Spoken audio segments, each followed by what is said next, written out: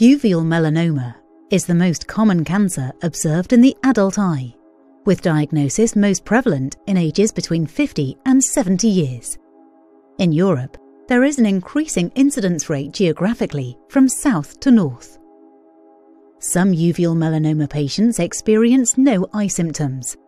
Others self identify a problem in one eye, and some cases are uncovered during routine visits to the optician.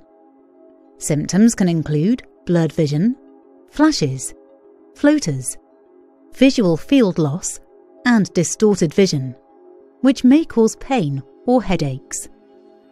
Dilation of the eye by an eye specialist can enable visualization and diagnosis of uveal melanoma. Uveal melanoma should not be confused with cutaneous melanoma, also referred to as skin cancer, which has different disease course, root causes, and treatment options.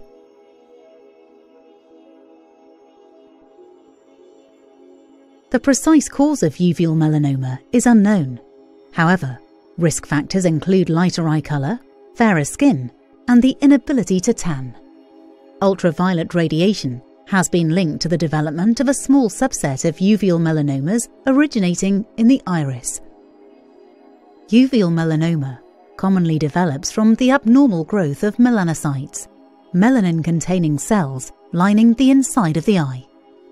Uveal melanoma develops in the uveal tract, the middle layer of the eye. The uveal tract is composed of the iris, the coloured part of the eye that controls pupil size, the ciliary body, an extension of the iris that controls lens shape, and the choroid, a blood vessel rich layer that nourishes the inner eye.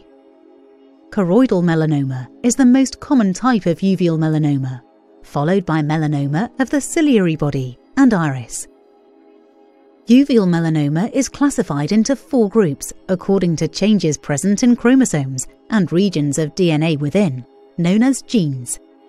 Each group has different levels of risk of the disease spreading to other organs.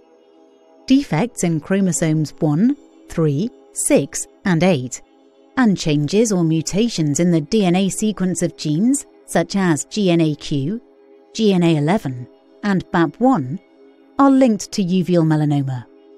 Changes in these genes can lead to the growth and development of uveal melanoma, or can cause uveal melanoma to spread outside of the eye.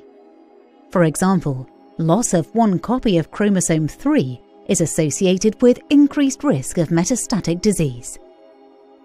Uveal melanoma can spread to other organs of the body, becoming a metastatic disease in approximately 50% of patients. Uveal melanoma most frequently spreads to the liver, but it can also spread to the skin, lung, soft tissue, and bone. Once the tumour has metastasised, the survival prognosis of patients is relatively poor.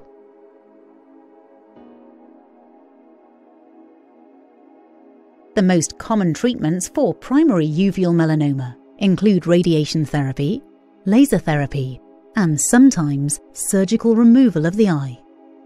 Radiation and laser therapy aim to shrink or kill the cancer using intense energy or focused light. Usually, treatments of tumours confined to the eye are successful. A biopsy of the tumour can help determine the class and course of disease. If the cancer spreads to the liver, the tumour may be removed surgically, or patients may receive liver directed treatments such as percutaneous hepatic perfusion despite increased understanding of the causes of uveal melanoma. There remains a crucial need for more effective treatments. The inclusion of uveal melanoma patient tumour samples from the eye and liver into research studies is invaluable. These samples help to create additional models of the disease, which help to broaden our understanding and to develop patient specific therapies for the treatment of primary and metastatic uveal melanoma.